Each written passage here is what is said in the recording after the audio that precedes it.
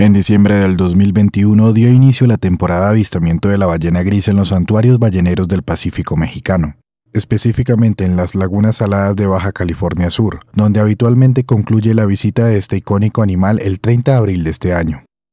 Esta temporada empezó algo irregular tras dos años de una marcada caída del turismo debido a las medidas sanitarias implementadas en buena parte del mundo por la pandemia del COVID-19.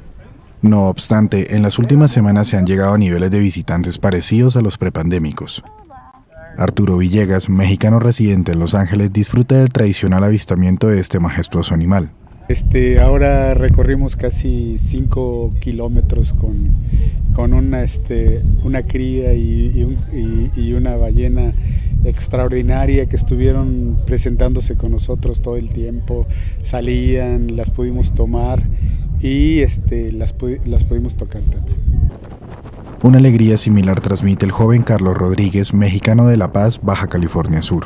Una ballena se acerca a la embarcación y la puedes tocar, se puede acercar contigo y realmente no es que el lanchero se acerque a la ballena, las ballenas solitas se acercan a la embarcación.